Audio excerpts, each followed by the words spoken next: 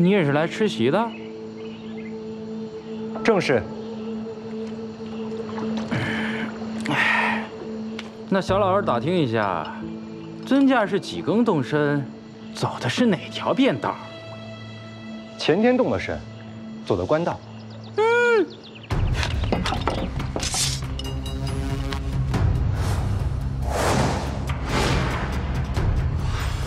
竹哨排箫都见响，这位朋友呢，也跟咱们在一个屋听曲，南腔北调不分家呀。诸位。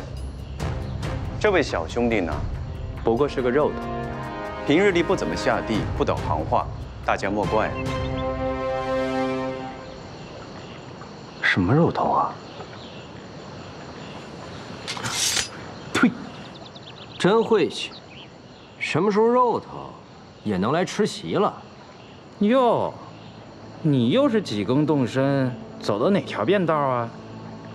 二十更动身走的嘛。独户道，嗯，原来是老手啊！既然走的是独户道，那敢问阁下身上扛没扛幡？幡上是几个字啊？扛金幡。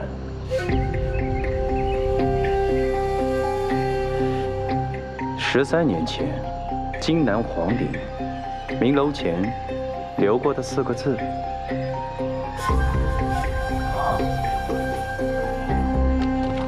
拜见素手书生前辈。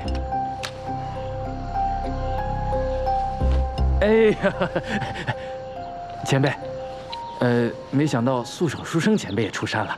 晚辈丁元子，师承鎏金一系。晚辈段海，一墨。在下葛攀，山某一系。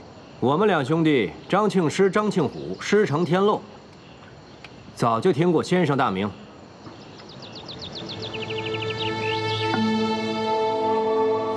哼，古风心，素手前辈跟你一样，走的是独户道，还不快来拜见？没兴趣。嗯。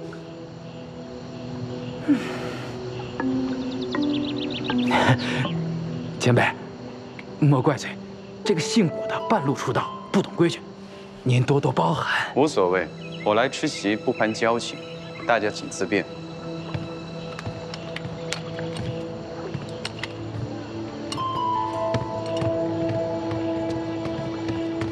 哎刚才你说那些话什么意思啊？行话，这土夫子的行话。你都跟到这里了，应该知道这是什么地方吧？哼，我当然知道。魏庄外院是古玩黑市，这内院则是土夫子的据点。有人发现了大墓，便来此主局一块下墓。我只是不明白，他们刚才为何突然对我动手呢？那是因为你说错了话呀。几根动身呢，便是问你入行几年，你走的哪条便道。是问你属于哪一个派系？啊？这天漏呢，就是观天象寻穴；山卯是往地势找墓；一墨则按古卷记载寻宝；鎏金就是顺着面试的名气查线索。至于什么铜点子、火钳子，都是小派。你什么都不提，非说自己走的是官道。那官道呢，就是官府衙门的意思，跟他们是死对头，当然得对你动刀了。那你说的独户道是什么意思啊？这个独户道呢，是半路出家，没有派系，他们全凭功夫入墓，而且他们每一个人身上都会有命案。所以问你扛没扛幡，是指你身上有没有命案？还算聪明。我说扛了金幡就是清点要犯，这么一说呢，他们就不敢来招惹了。十三年前荆南皇陵被盗，这守军被杀了二十三人。贼人嚣张，在明楼面前留下四字名号“素手书生”，圣上震怒，下旨缉拿真凶，却至今没有下落。你在冒充素手书生？你对这个朝廷的卷宗倒是很熟悉嘛？没错啊，所以我冒充一个名头大的，这样才能混进来。说要来逛黑市，却跑来内院，对这土夫子的行话说这么溜。更重要的是，这素手书生的事儿乃朝廷密令。你居然也知道，李莲花，你肯定有问题。你别指我，没大没小。那你知道为什么至今都没有找到素手书生吗？为什么？因为他死了，我亲手埋的。